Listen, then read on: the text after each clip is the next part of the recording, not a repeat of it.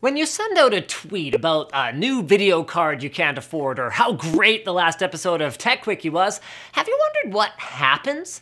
I mean, sure, we all know that it goes out onto the internet, but much like flushing a toilet, most people don't know exactly what happens to their chunks of uh, data after they post something. So where exactly does it all go? Well, to understand the answer to this question, it might help to keep in mind that the internet is not owned or even governed by any one group of people.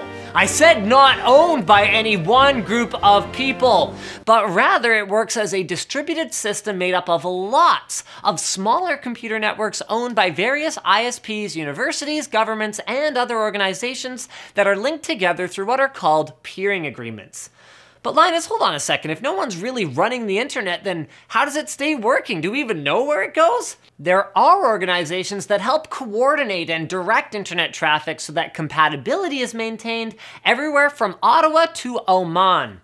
Probably the most well-known of these groups is ICANN, which maps IP addresses to internet domain names. So when you punch in, let's say, linustechtips.com in your web browser, that actually isn't enough information for your computer to know what website to show you. So what happens is your ISP, your internet service provider, directs it to a DNS server which matches what you typed to the IP address that corresponds to it so you can connect and keep consuming the awesome videos we create. But once you do that, then how does the content itself get to your PC?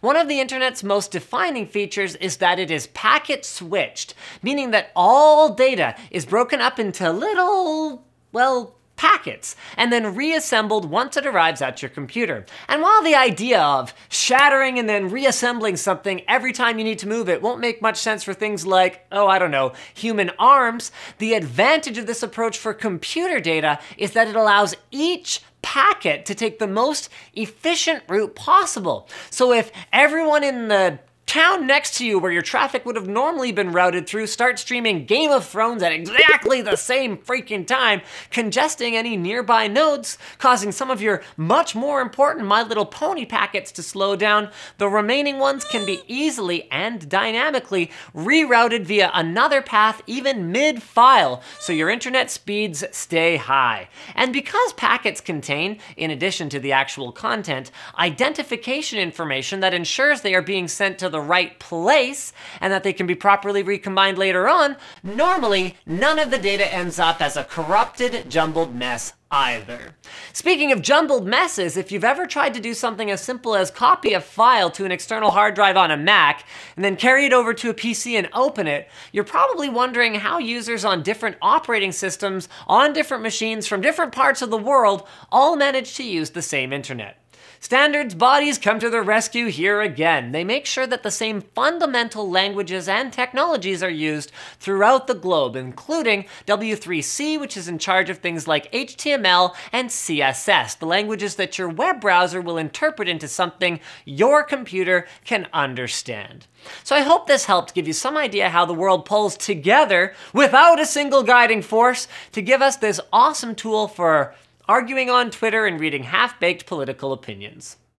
Speaking of things on the internet that are way better than arguing on Twitter, FreshBooks! It's designed for freelance workers or small businesses, and the whole idea behind it is that instead of spending all of your time drawing up invoices and logging your hours as you move about from place to place working on jobs, you spend it doing jobs and getting paid. It's an online tool to allow you to get your accounting done quickly while you're on the go versus having to sit at your computer every night. It even allows your clients to pay you online via credit card. It's just like beep, beep, boop, send that invoice over to them and get paid. And I can tell you, as a small business owner, half of the battle is actually getting the invoice sent out to the client, and then the other half is getting them to actually pay it, is a whole other thing anyway. It shows the full history of every invoice, allows you to check if the client has viewed the invoice, which is another really handy tool. Oh, I didn't get that. Oh, actually you did.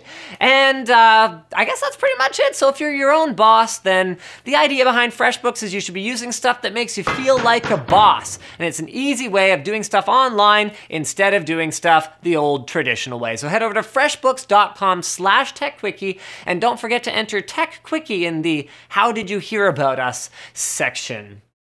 So guys, thanks for watching this video. Like it if you liked it, dislike it if you thought it sucked. Leave a comment if you have suggestions for future Fastest Possibles. And as always, don't forget to subscribe so you don't miss more of our videos here, wherever it is you're watching it.